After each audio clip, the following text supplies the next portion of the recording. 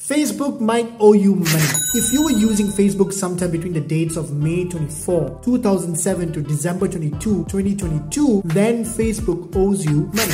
How come? Now, Meta has faced quite a few lawsuits from Facebook users who allege that the company has allowed their user data to be accessible to third parties without user permission. Remember Cambridge Analytica? These lawsuits were ultimately consolidated into a class action lawsuit which Meta admits no wrongdoing. However, as part of the settlement, Meta recently agreed to pay out a total sum of 725 million US dollars to affected users who resided in the US.